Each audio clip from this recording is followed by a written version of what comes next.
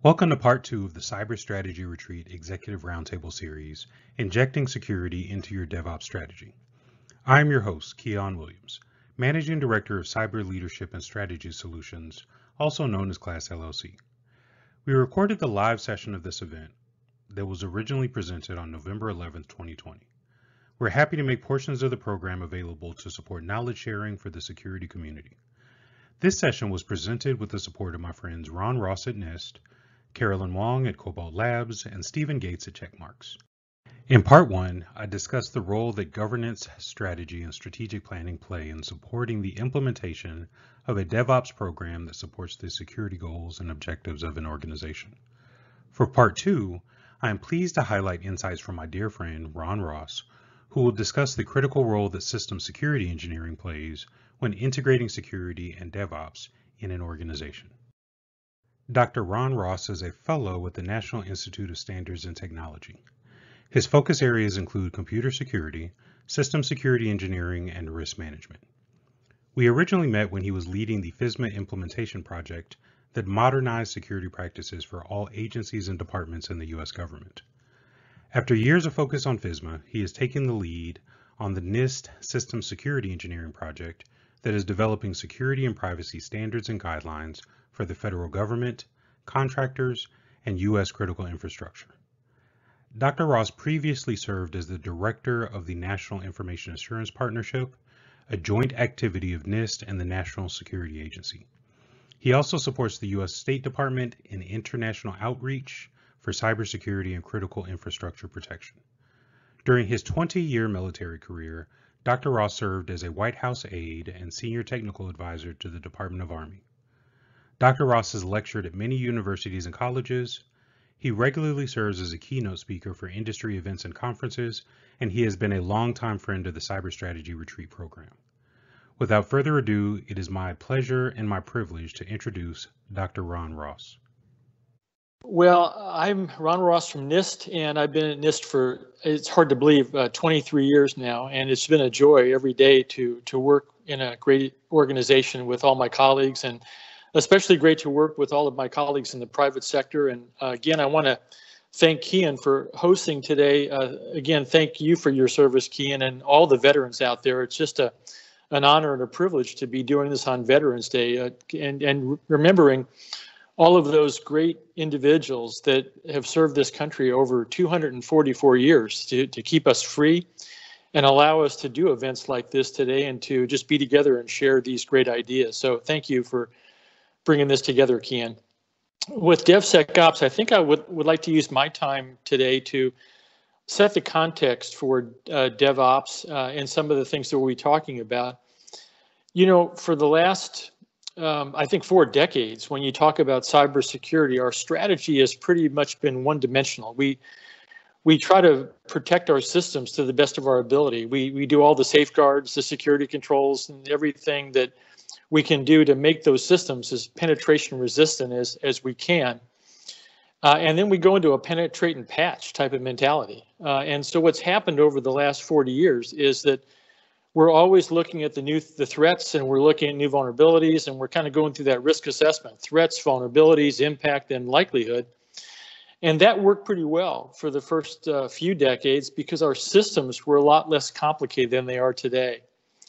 Uh, when you look at what we're building in this tremendous innovation that's going on in the private sector in the information technology area, it's it's really breathtaking to see the capabilities that this great technology and our industries are bringing to us.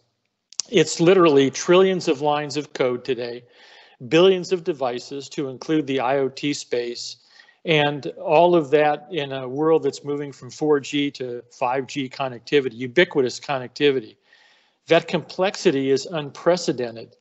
And it really, to me, is the heart of the problem that we're going to talk about today with DevOps. And when you think about DevOps, you might not think of it in these terms, but I've always tried to characterize um, the security problems as you know, the metaphors I use above the waterline, below the waterline.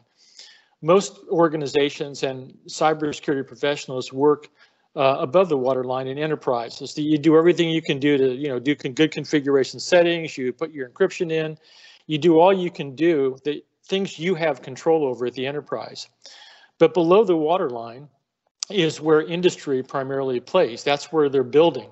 Uh, they're through systems engineering processes. They're building software and firmware and hardware, and they're bringing those things together in a in the context of a system which provides capability to enterprises. Now, when you look at complexity from uh, as a computer scientist, I look at complexity. Uh, this is attack surface. The more complicated the systems are, the more opportunities you give the adversary for exploiting some of the vulnerabilities or don't know about, the zero day vulnerabilities. And the problem with complexity is that those number of vulnerabilities, both the knowns and the unknowns, are increasing at an exponential rate. And that's not any dig on the software developers. When you're building large and complex systems, there are always going to be vulnerabilities that come into play. They could come from not having good requirements. Yeah, and you mentioned in the lifecycle process, you really have to start with your stakeholders, your mission business owners, and figure out what kind of technology do I need to support my mission, and then how am I going to protect it? And that should generate a good set of security requirements, but that doesn't always happen. Even if you do have a great set of security requirements, you then go into the development process, and things can happen during development, even with a good set of requirements. If you're not uh, using good um, systems engineering practices, best practices in software engineering, and secure coding techniques. There are a lot of things that can happen in, in the development process that end up uh, giving you weaknesses and deficiencies in the system that can then be uh, exploited by, by adversaries, uh, threat agents, and those we call those vulnerabilities. Uh, if you do everything right on the requirement side and you do everything right during development, which doesn't always happen, but let's say you do, then we move to operations. And as we used to say in the Army, there's a term we, you might remember this, Key, it's called operator headspace. Uh, I can give you a perfect weapon system or a perfect device.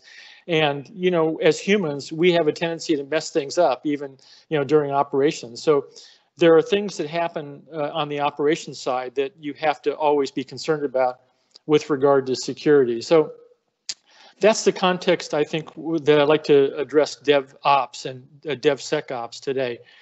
Uh, it, it, there's a metaphor I use also called the black box. All that complexity, whether it's a smartphone or a tablet or a server or a supercomputer, it's all about computers. And, and the, the world we're building today is a kind of convergence of cyber and physical systems. In other words, all those computers in your automobile, they're driving not just the entertainment system, but they're driving the braking system, the safety critical systems. And this is why we're so concerned that whatever we build, we can trust. And I think that's really where we start to talk about this whole notion of, of DevOps and DevSecOps. How do we how do we influence that that security side of the house during the development process, which can help us ensure that we get those uh, systems that have the great functionality, the innovation that we need, but make sure they're less susceptible to these continuing adversary attacks. So if you kind of fast forward, we've gone through this penetrate and patch one-dimensional strategy, and I think one of the things that we're looking at at NIST in our systems security engineering guidelines, and now we're going to be moving into the DevSecOps arena, is how do we uh, change that basic paradigm and say instead of just having one dimension, what if we extended that to two or three dimensions where you do everything you can to make the system as penetration resistant as you can. And that means doing all the cyber hygiene, all the good things we know about. But what happens in those 5 or 10% of cases where the adversaries get into your system, they breach, they, they, they figure out a vulnerability, the zero days they manage to stumble upon, and they exploit that? What do you do then?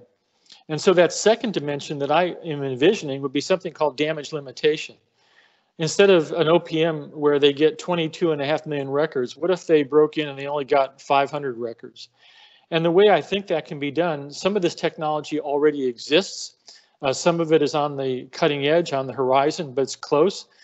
But it would be something along the lines of combining a couple of different things in the system architecture.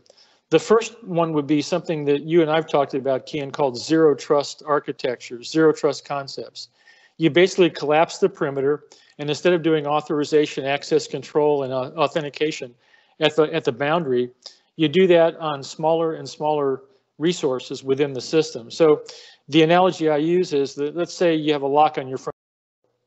Bad guys break down the front door. they just rip everything off in your house? Or what if you had a vault in every room? It would be increasing the bad guys' work factor, so they would have to go through and get through every vault to get all of your valuables. And the same thing can hold true with zero trust architectures and zero trust concepts. You basically slow down the adversary. You make it very difficult for lateral movement, not just across the system, but across a transitive attack across multiple systems, which is what happens in many cases till the adversary finds the target of opportunity. If you combine that uh, architectural construct with the virtualization techniques that we already have, we're seeing uh, virtual machine technology has been around for a long time. We have micro virtualization now where we're, we're virtualizing smaller and smaller segments of the system. And the idea there is you, you decrease the adversary's time on target and you make it very difficult for them to have enough time to go through the attack sequence. If you can churn that system faster than the adversary can do damage, you basically shut them down. Now, if you combine these two different uh, concepts and approaches in that damage limitation dimension I'm talking about, it may come to a point where we don't have to worry about the threat space anymore. They're going to always keep evolving. It's dynamic. And we don't have to worry about the vulnerabilities to the extent we do because they have to operate in our space. Once they come into that system and we have the zero trust concepts, the architecture in place, and that, that really uh, micro virtualization, it's going to be a very tumultuous environment for them to operate. And so it may turn out that it, it shuts down their ability to complete these attacks. And that would be a, a game changer as far as how we defend our systems today. Ultimately, all of that leads to something that we call cyber resiliency. And that's really just like you're the human body. You're, you're, the human body is a, an amazing thing that we can withstand many, many different types of diseases and uh, things that are out there. But sometimes, like if you get cancer, or if you have like COVID-19, sometimes the immune system is just not strong enough. But in most cases, it works pretty well. That's the world I think that we're going to try to define and articulate. And industry has a great head start in the world of DevOps because now we're not just talking about integrating security. With DevOps and DevSecOps, we're seeing that we're actually able to get inside that black box now. And we're able to do things in the development process that give us greater transparency. We need to have a better idea of what's going on in that black box because we have to trust it. And so you have to have uh, transparency and traceability uh, all the way back to the original security requirements. And that visibility will give us greater assurance and trust trust in the technology that we're we're going to be using. That we're we, we're, ne we're never going to slow down innovation. We don't want to. We want to bring security into the world of industry so we can operate securely at the speed of industry. That's where this world is headed. And if you're talking about either national security interests or or economic security, we need to jump on the innovation train because that's how we build better systems, whether it's a weapon system or a medical device or whatever it might be. This world of DevOps and DevSecOps gives us a great opportunity through agile development practices to bring our 40 years of security experience and best practices into the agile and these new types of, of development processes that can produce more secure components. So uh, that's just kind of an overview. We're going to be in the middle of this discussion at NIST, and we're hoping in 2021 to produce the first DevSecOps framework, which would um, integrate a lot of the best practices of industry and some of the things that we're thinking about at NIST. So again, thanks, uh, Keyaan, for having me today, and I'm looking forward to the open discussion after uh, Carolyn and, and Stephen uh, have their chance to talk about their vision. If you like what you hear, Please follow Class LLC online and at our social media channels to receive updates and announcements about additional sessions in the series. You will also periodically receive notifications about other cyber strategy retreat content and Class LLC insights. An event like this would not be possible without the support of sponsors. Thank you to our partners at Cobalt Labs, who specialize in penetration testing as a service. Thank you to our partners at Checkmarx, who specialize in application security testing. And thank you to our friends at NIST who provide a valuable library of resources at the Computer Security Resource Center. If you want to learn how to apply these principles in practice, the Cyber Executive Masterclass provides a deep review of cyber executive leadership that addresses strategic planning, DevOps, risk management, and a host of other business practices that support the successful execution of a security department. The next cohort of our masterclass starts on 23 January, and you can sign up online at Eventbrite using the link on the slide. In closing, I'd like to thank you for listening, for sharing, and for providing your feedback about this edition of the Cyber Strategy Retreat Executive Roundtable, Injecting Security into Your DevOps Strategy.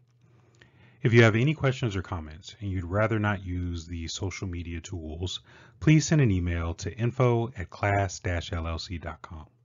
This is a great way to submit feedback, ask a question, or request a complimentary consultation with our workforce development or professional services teams. Have a great day, and we look forward to seeing you at the next session.